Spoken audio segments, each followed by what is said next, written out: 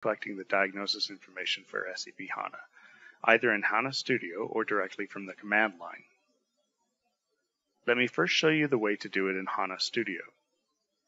When you have your HANA Studio opened, you want to go to the Administration Editor.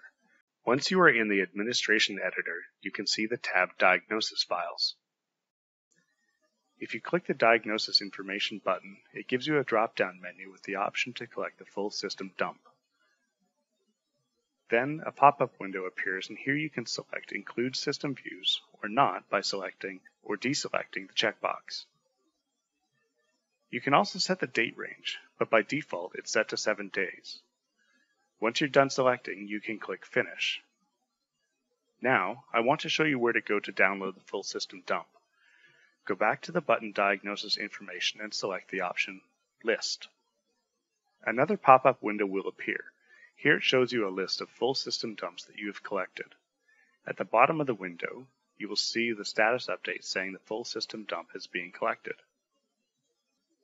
Once it's done, the button Download Collection is enabled and you can select the dump and click on the Download button to download it.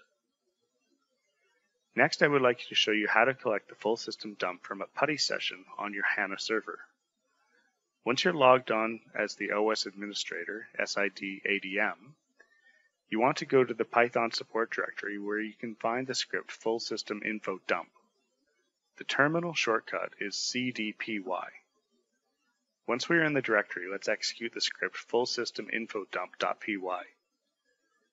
Give it some time to collect the dump because it will take a while.